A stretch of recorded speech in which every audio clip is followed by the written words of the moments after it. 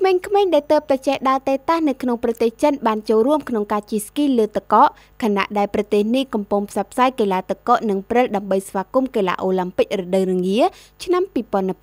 2022សហការឧបត្ថម្ភដោយ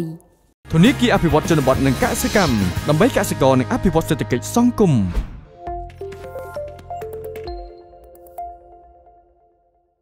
វីដេអូរបស់ក្មេងស្រីអាយុ11ខែម្នាក់ឈ្មោះវ៉ាងអ៊ីជីកំពុងជិះស្គីលើទឹកកកនៅរមណីយដ្ឋានជិះស្គីទីក្រុងចាំងជាខៅដែលជាទីក្រុងរួមគ្នារៀបចំព្រឹត្តិការណ៍កីឡាអូឡ িম্প ិករដូវរងានាពេលខាងមុខបានធ្វើឲ្យមនុស្សម្នាភ្ញាក់ផ្អើលយ៉ាងខ្លាំងតាមបណ្ដាញអ៊ីនធឺណិត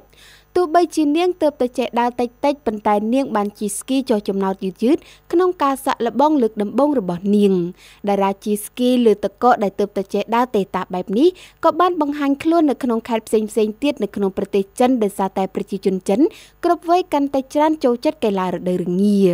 កុមារីឈូអ៊ីអាយុ2ឆ្នាំនៅក្នុងខេត្តសានតុងភាគខាងកើតប្រទេសចិនបានបង្ហាញពីជំនាញដ៏គួរឲ្យចាប់អារម្មណ៍របស់នាងនៅលើជម្រាលភ្នំបន្ទាប់ពីការអនុវត្តត្រឹមតែរយៈពេល2សប្តាហ៍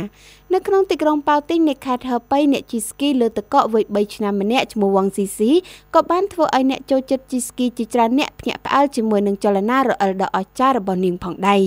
ក្មេងស្រីអាយុ4ឆ្នាំម្នាក់ទៀតឈ្មោះចាំងតតនៅក្នុងទីក្រុងជឺប៉នៃខេត្តសាន់តុងក៏បានបង្ហាញឲ្យឃើញថានាងជាអ្នកជិះស្គីលើទឹកកកដ៏អស្ចារ្យបន្ទាប់ពីការអនុវត្តជាច្រើនសប្តាហ៍ភាពប៉ិនប្រសប់របស់ក្មេងស្រីតូចម្នាក់នេះនៅពេលដែលនាងកំពុងជិះលើជម្រាលប្រកបដោយទំនុកចិត្តយ៉ាងខ្លាំងក្នុងការជិះស្គីលើទឹកកកដែលមើលទៅពិតជាអស្ចារ្យខ្លាំងណាស់